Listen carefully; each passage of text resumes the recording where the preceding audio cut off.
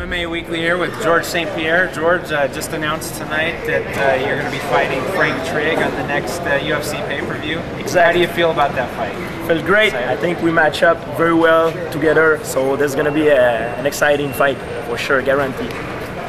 Now you had a you had a pretty tremendous fight uh, your last time out against a pretty tough up and comer, uh, Jason Miller, who uh, very tough guy. If anybody has seen him coming up on the other shows, but you had a pretty dominating performance. How did you feel uh, coming out of that fight? I got uh, I try everything. You know, I tried to submit him to, to knock him out with big elbows. You know, with, with strikes sending up, but the guy he just don't want to die. You know, he, I have a lot of respect for Jason Miller. He's a he's a true warrior he don't tap for nothing. You know, to tap you have to catch him good, and I, I wasn't uh, I was not able to do it. So I've all, he got all my respect.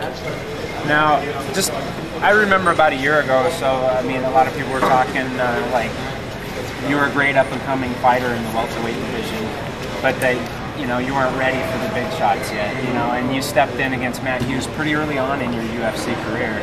Now, you did lose the fight, but since that fight, it seems like you gained a lot of confidence from that, and you've really uh, torn up UFC. Did you do you feel like you came out with a lot of confidence after that performance against Matt? I think this loss is the best thing happened in my career. I mean, uh, you know, since I lost that match, I gained so much, so much belief in myself. You know, so much confidence, and now I'm twice stronger than I was uh, when I fought him, and I'm twice uh, more confident than I was you know, and I got a lot, a lot more tools, you know.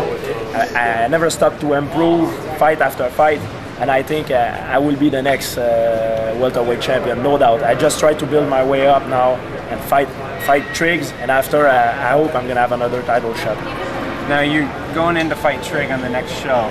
Now, what is it that you feel is your strong suit that's gonna give you the edge against Frank Trigg? I have a you know, I, I think I'm very well round, very smart, you know.